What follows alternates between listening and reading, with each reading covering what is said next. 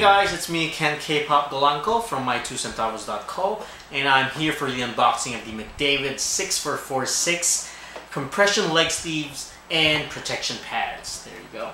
There you have it. Alright, so here we have the McDavid 6446 compression leg sleeves and protective pads. Alright, now let's open it up. Now when you buy a pack, you'll be able to receive a pair of the these um, protective leg sleeves. Right there you go.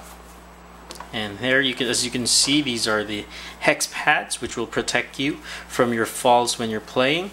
And uh, when you buy a pair, you're going to need to measure the circumference of your kneecap, which will correspond to your size. Okay. Right now, let me just just put these on so that you can have an idea of what they look like on your leg. Alright guys, so there you have it, the McDavid 6446 compression leg sleeves and protection pads. They're on my legs right now. Forgive my outfit, I didn't dress the part anymore. I just wanted to show you what they look like on your legs, okay? Now let me just put on, put up my shorts a bit so you can see it better, okay?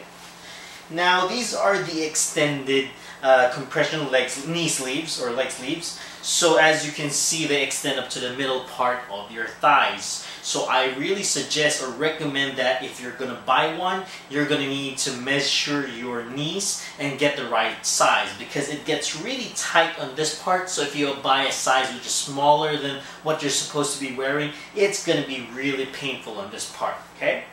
There you go. So uh, let's move from side to side so that you can see what they look like on side view. Okay.